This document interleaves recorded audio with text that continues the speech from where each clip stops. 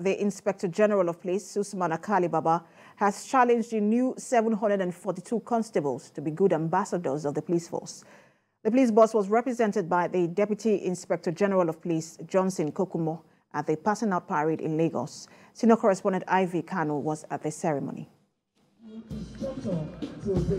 These officers started the training six months ago as recruits, but are leaving as constables.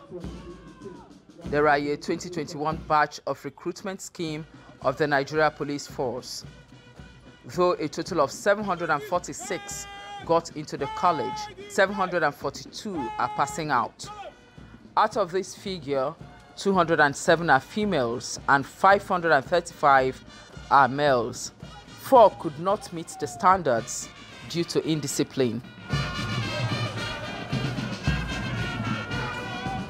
The reviewing officer is Deputy Inspector General of Police Johnson Kokumo, who represented the Inspector General of Police. While inspecting the six guards, he tasked the constables to be good ambassadors of the force. To take this noble part of law enforcement, let me remind you that the bedrock of policing is discipline.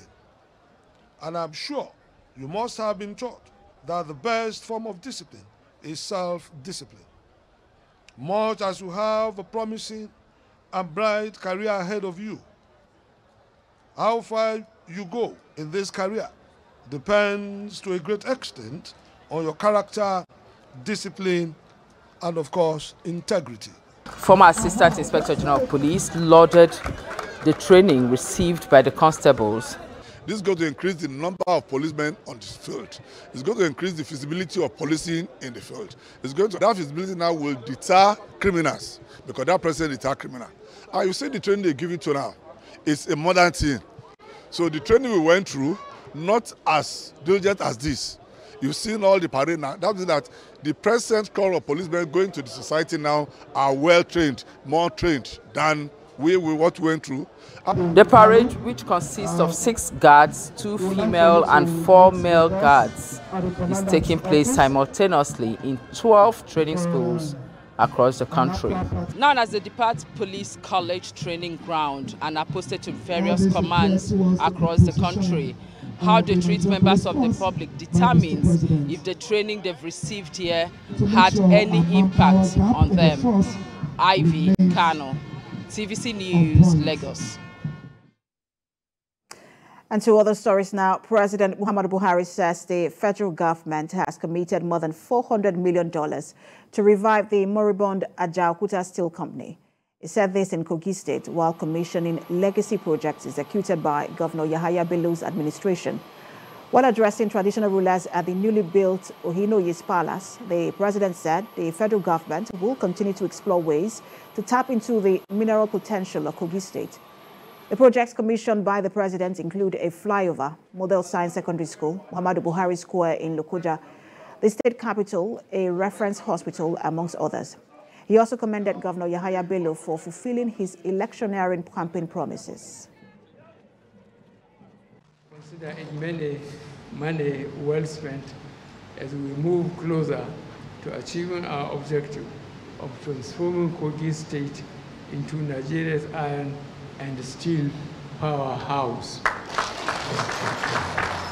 The benefits of getting Ajaokuta Steel Complex working again are numerous. It will provide over 500,000 estimated jobs and more than 1.6 billion United States dollars in annual income to the Nigerian economy. This secondary school can even be likened to some universities in Africa. And Your Excellency, there are so many more projects. You will commission Muhammad Buhari Square. You are going to help us to commission a modern security vehicles equipped with modern state-of-the-art equipment. The federal government says its investment in infrastructure will aid business growth in the country. Minister of Works and Housing, Babatunde Fashola, said this during an inspection tour of ongoing facilities within the Apapa Oshodi Ojota Oworonshoki Expressway. Theophilus Elama reports. The administration of President Muhammadu Buhari has undoubtedly devoted the last seven years to infrastructural development, which comes at a cost. The Minister of Works and Housing is in Lagos to inspect ongoing projects embarked upon by the federal government. The crew took a trip to Ojota, Oworonshoki, Oshodi and Apapa Expressway to see the extent of work done on the roads. Infrastructure is the key that unleashes trading and productivity which is so strong on. But without infrastructure, you can't trade and you can't produce. So let's just be clear about that. The Apapa Oworonshoki Expressway is a major infrastructure asset for import and export business because it connects to the largest and the busiest seaport in the country, the Tin Can Island and the Apapa Port. Um, by 2015, uh, people will remember how difficult, how chaotic it was, how painful it was in this state, in this axis, and how the pain translated to other parts of the state. Clearly, without a shred of doubt, although the work is not finished, the difference is clear. There has been very, very measurable and quantifiable progress. The minister explains that infrastructure development will lead to economic growth of the people and ultimately the nation.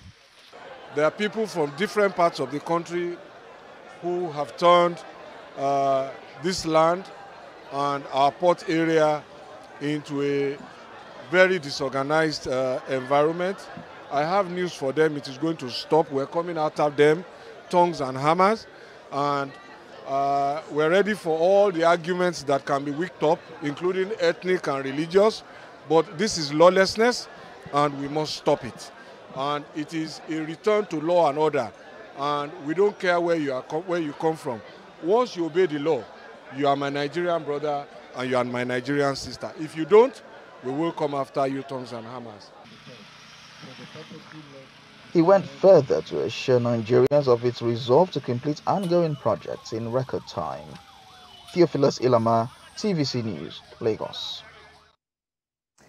And now to the National Assembly, where the House of Representatives has commenced investigation into the alleged loss of more than $2.4 billion revenue from illegal sale of 48 million barrels of crude oil exports in 2015. The House is probing crude oil sales from 2014 till date. At its inaugural meeting, the ad hoc committee assured all whistleblowers of confidentiality for every information provided. The committee says it is still gathering memoranda from stakeholders and called for support from all concerned in the overall interests of the country.